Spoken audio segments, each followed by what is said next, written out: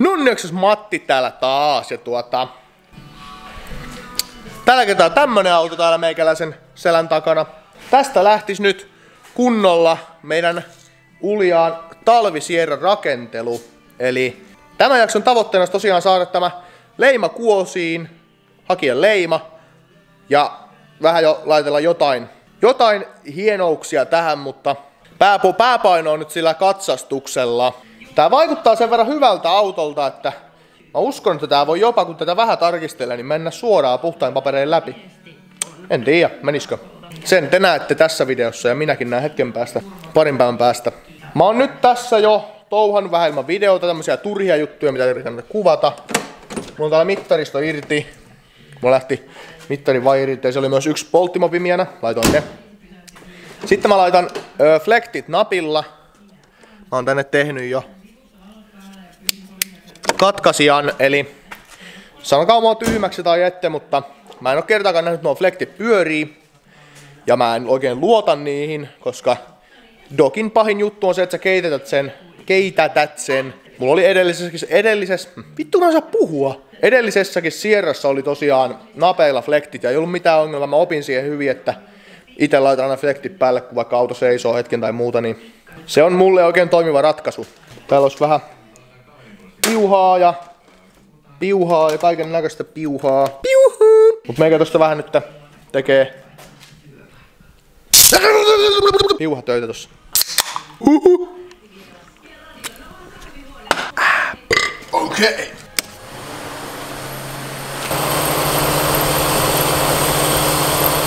Tää kuulostaa jotenkin rainasilta noin flektit, mutta on siellä sulake välistä, jos ne menee juntturaan, niin varmaan sulake paukahtaa sitten ehkä, eikä johdot. No niin, suuri osa pyöristä otettu irti ja ihme ja kumma sai edes ne mutterit auki, mutta on tosiaan aika lujaa jumis. Mä ajattelin näyttää että samalta, jos teille on käynyt näin, että mutterit on kaikki irti, mutta rengas ei vaan millään lähde irti, niin mä näytän teille parhaan kikan siihen, millä sen saa pois. Mutteri tuo hollille. Noin. Ja sen jälkeen lankku. Tämmönen jonkun, jonkun pituinen lankku ja sitten ei muuta tänne sisäpuolelta vanteen reunaa vaan hakata, niin se ehkä lähtee. Tää on niinku oikeasti meinaa jumis.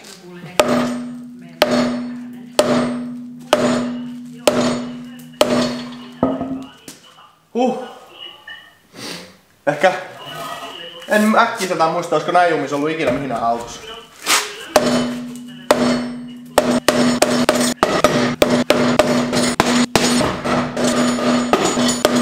Okei, okay, huh. Noin mennä oikeesti. Jumalauta, näin näin. Kaikki muut kolme lähti hienosti, mutta... Okei, no toinen etupyörikin aika hyvä. Täällä on jousi poikki, hyvä.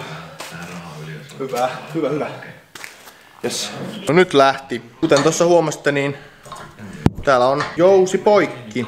Eli saadaan suoraan. Mä ajattelin, että leiman jälkeen vasta olisi vaihtanut tota madallusjouselliset tolpat tänne eteen ja sitten laikannut takaa, mutta tehdäänkö se nyt jo ennen leimaa, niin onpa sitä niin katsastettu myös matalana, niin tää iskarikin vähän sen näköinen, että en tiedä onko tääkään enää oikein hyvä, mutta ei mitään, vaaditaan siihen tolpat, mulla on ne rönttäsierren vanhat ihan hyvät iskarit, missä on madallusjouset, niin laitan ne tänne eteen ja, ja sitten tuota taak, takaa jouset pois ja laikataan ehkä kierros tai puolitoista, ettei tuli liian matalaa.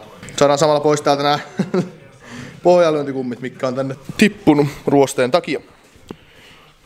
Täällä on koko... täällä on koko, holo, koko hoito täällä. Mut jes, ruvetaan hommiin saman tien, niin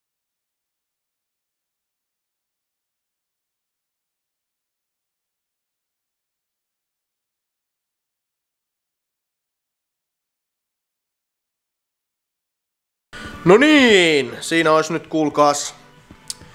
Otin näistä nyt tosiaan puoli, niinku ring, rinki ja varttirinki. Eli ei edes puolta toista, vaan rinki ja vartti. Niin tota, katsotaan minkälainen tulee. Tää on just sillä, että ne just just saa tonne väliin laitettua. Tää toinen puoli on siis tehty jo. Ja tota, silleen, että ne ei sitten kuitenkaan heilu siellä, koska mä en halua, että ne on niin, niin löysät, niin Ja vähän tämmöisellä kyseenalaisella keinoilla saada nuo pois tuolta, kun ne on vakio niin pitkät, että niitä ei oikein meinaa saada pois tuolta tukivarsien välistä, niin piti vähän kikkailla, mutta otetaan nuo nyt pois ja koitetaan saada se tuonne väliin takaisin. Heitettyä tuonne väliin takaisin ja sitten olisi auto madallettu. Se oli tosiaan tämän näköinen tuo iskari. Tämä jousi pohjaan lyöntisysteemi ja toisella puolella oli tehty jo niin, että oli leikattu tämä näin. Hitsattu pelli tuonne, niin mä teen nyt saman tänne, koska ei tuo olisi varmaan muuten edes mahtunut tuonne paikalleen, niin... Niin, niin. Hyi. Tuo oli paha. Oh.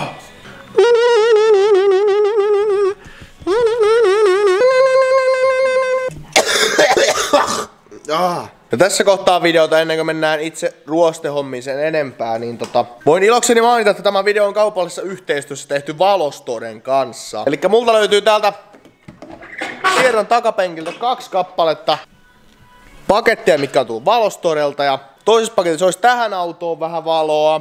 Ja toisessa on sitten myöhempää projektia varten. Se tulee erillinen video. Mutta tota, tällä kertaa katsotaan toi tähän tuleva valo. Ja unboxataan laatikko. Jos ette vielä tiedä mikä Valostore on, niin Valostore on siis nimensä mukaan valoja myyvä kauppa. Eli tota, taitaa olla yksi Suomen isoimpia, isoimpia ja suosituimpia auton lisävaloja ja muita valoja myyvä kauppa. Eli sieltä löytyy autojen lisävaloja, lisävalopaneeleja ja työvaloja autoihin ja traktoreihin ja työkoneisiin ja ottaa valoja ja taskulamppuja, ihan kaikkia.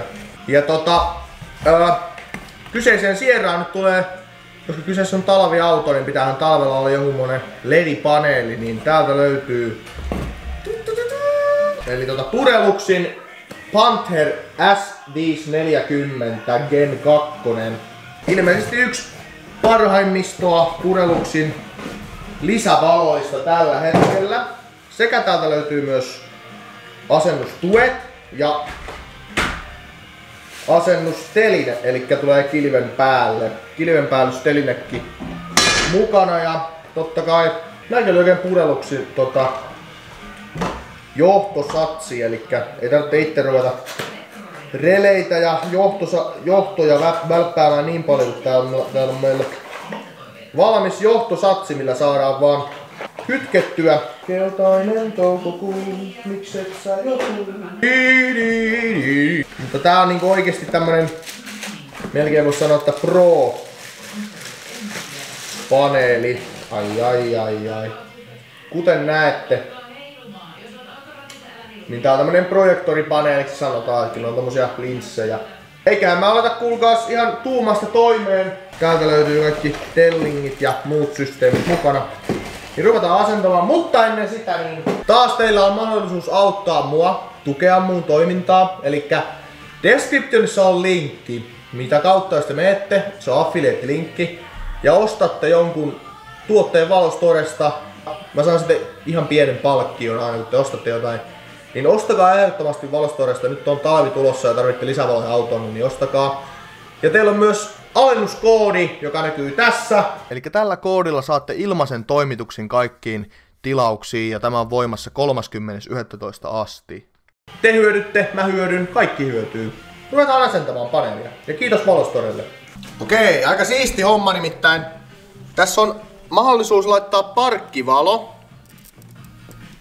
Joko oranssi Tuolla oikein Pudelluksin logo näkyy hienosti. Tai valkoinen. Aikas, aikas tyylikäs. Mä taidan itse ehkä valita valkoisen kuitenkin. Kuitenkin sitten. No niin, sehän on siinä jo hollilla. Mä nyt taas vähän tohotin enkä kuvannut, mutta tota, siellä on kilventeline. Kilventeline tuolla alla ja se on ruuveilla, monella ruuvilla vankin puskurissa. Ai että kun pääsee tämän kalvon repiä, mutta ei, vielä, ei vielä, ei vielä, ei vielä. App, app, app, app. Nyt seuraavaksi, tähän pitäisi hommata muuta uudet kilve, kun ne on aika perstunut paskaksi, paskaksi niin tähän pitäisi tota nyt toi johtosarja ottaa käsittelyyn ja ruveta sitä kytkemään, jos saataisiin tämä vaikka palamaan. Tässä valmiissa johtosatsissa ikävä kyllä oli vääränlainen pistoke. En tiedä onko tullut joku, joku moka lähetyksessä vai onko se vaan niinku alkaa päälle vääränmoinen, mutta ei mitään. Mä vaihdan tästä paneelin oman kat- tämän liittimen tähän, tähän johtosarjaan. Niin. Okei, okay, let's go!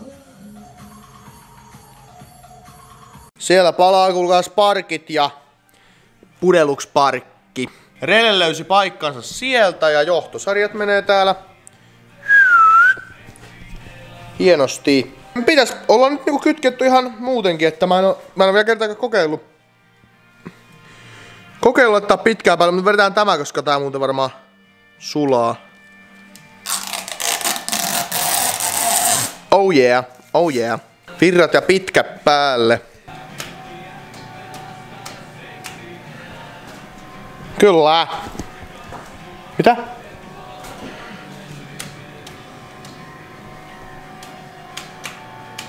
Alko mä sulake? Mitä? Okei. Okay. No niin, eli tässä on siis joku Power Boost-tila, mistä mä en ollut edes tiennyt. Mä vähän googlettelin tossa, niin täällä on tämä nappi, mistä painamalla voi vaihtaa Power Boost-tilaa. Eli se on joku niinku todella, todella kirkas moodi. Siellä on nyt 20 sulake, niin jos sen laittaa Power Boost-tilan päälle, noin, niin palaa sulake. En tiedä mikä homma. Mutta sitä Power Boost-tilahan ei saa siis käyttää tieliikenteessä tietenkään. Nyt mä ehkä keksin mikä se oli, eli tuolla luki Valostoren mittaama virran kulutus Power Boostilla oli 20,5 amperia tyyliin. Ja mulla oli 20 amperien sulake. Mutta aika outo, kun tuossa va- johtosarjassa on vakiona 15 amperien sulake. Niin nyt kun mä laitan 25 sulakkeen, eli se on vähän niinku yli sen kulutuksen, niin mm, nyt se ei pala sulake vaikka olisi päällä. Ja mä tosiaan otin nuo omat lisäpitkät pois käytöstä, koska ei toi Sierra laturi jaksa määränsä enempää lykätä. Nyt kun on oikeasti, oikeasti tehokas paneeli, niin se voi olla, että parempi, että otti nämä omat lisäpitkät pois. No joo, en tiedä mikä on oma mielipide nyt on sitä Power Boostista, koska nämä siis valmisjohtosarja, niin nyt kun laittoi sen isomman sulakkeen, mikä on tietenkin kiellettyä, koska siinä on 15 ne oli niinku tehtaalta, mutta tämä johtosarja ei nyt kyllä oikein sovi tuohon paneeliin, koska nämä siis johdot kuumeni aika pirusti tuossa Power, Power Boostia käyttäessä. Et en tiedä oliko huono, oliko väärin mitoitettu johtosarja vai, vai mikä homma, mutta tota, vähän kyseenalainen homma on. Mutta mielenkiinnolla kyllä odotan, että kuinka hyvin toi näyttää toi paneeli. Ei varmaan hirveästi viitti kyllä Power Boostilas käyttää, koska jos kerran johdot kuumenee, niin se ei ole todellakaan hyvä merkki ikinä. Mutta eiköhän se ihan normi tieliikennetilassakin niin näytä ihan tarpeeksi. Okei, meikähänkin tossa uudet pyörän mutterit, tosiaan oli pelti, peltivanteiden mutterit tässä alla ja ihan paskat, niin nyt on uudet. Saatais pistää kuulkaas bartsetat alle. Ehdottomasti parasta tämmöisen uuden auton ostamisessa on se, että kun saa nämä suojamuovit kalvot repiä irti, tää on satisfying. Ai että, aivan, tu, niin, aivan niin kuin uusi tuli. Tää on kyllä hienoa. Katsotaas. Okei, okay, okei. Okay. It starts from the beginning. Vähän on vielä olevana niin korkea tuo perä. Ei, ei itse asiassa hirveä. On se vähän. Mutta ei nyt varmaan tällä erää ainakaan oteta enempää. Että pitää vähän katsoa kun ajaa, niin se sitten tasottuu. Tasottuu paikalleen sitten. Ihan hyvä, ihan hyvä. Smooth and silky, niin kuin ananasmullet. Seuraavana ruostepaikka tuolta tehty. Nyt jatketaan loppujen kimppuun, eli tämä koko kynnys täältä. Tommonen. Toisen puolen ah, takapenkin jalkatila. Ne ruostehommat ja sitten päästään leimalle. Uh. Ai että ruostehommiin ei kyllä ikinä kyllästy. Nää on kyllä aina yhtä mukavi. On hyvä. On hyvä. Ei mitään, tajo, tajotaan siihen vähän pellistä sitten helmaa. No niin, pellit löysi siihen paikkansa. Kanttailin tosta ihan niitä vaan summis ja tuli kohtuu hyvä. Sisäpellikin on siellä. Ei muuta kuin vaan saumaa perähän ja se on sillä hyvä.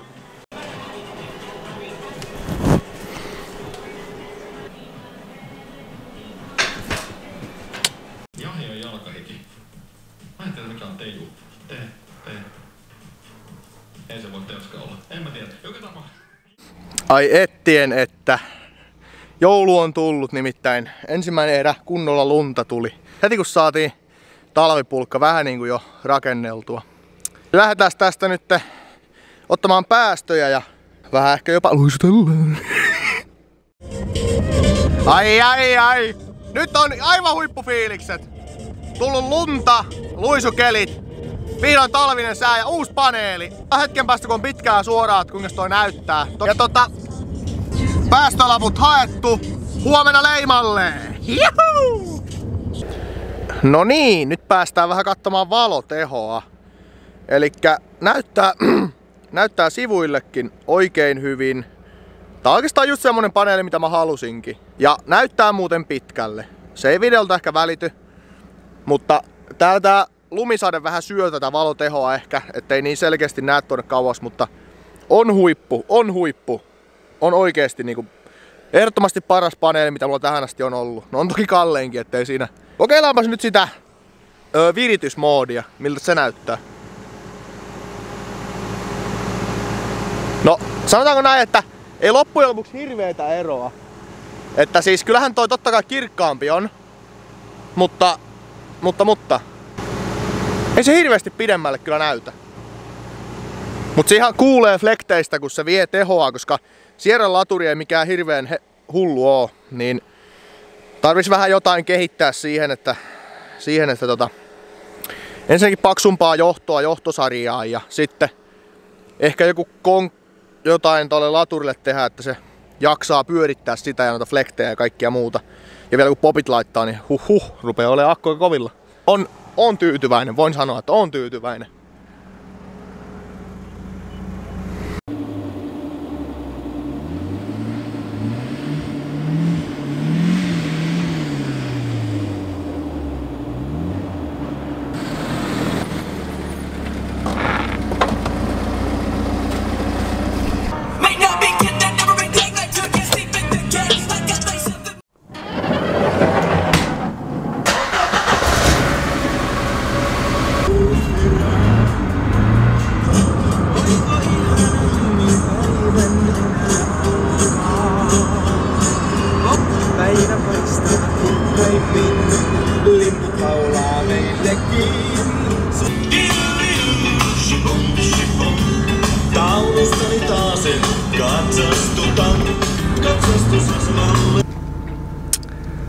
Ai ai ai ai ai ai. Eli ihan niin kuin mä arvasinkin, niin kyllä tämä hyvä rässi on, että sai havan hakijan leima ja vielä kehujen kanssa totta kai. On tää, on tää oikeesti poikkeuksellisen siisti yksilö. No, lasi on halki, sen mä tiesin jo, sen tekin tiesitte ehkä. Ja sille nyt ei voi mitään. Pitää. Ei se olisi kuin jossain kohtaa vaan vaihtaa, mutta katsotaan nyt missä kohtaa, jos vaihtaa. Jarrut kaikki kunnossa, ei siinä mitään ihmeellistä iskarit, niin se on kuulkaas nyt semmonen homma, että nyt ruvetaan vähän enemmän rakentelemaan tätä hienoksia. Ja aletaan tällä todenteolla luisuuttamahan. Että tota, erittäin tyytyväinen tämän videon antimiin. Erittäin paljon kiitoksia vielä Valostorelle. Me palataan vielä Valostoren kanssa kuvioihin. Ja kiitos sulle, katsoit tämän videon. Pistähän kanava tilaukseen, jos haluat nähdä lisää tällaista. Ja ei muuta kuin moro vaan!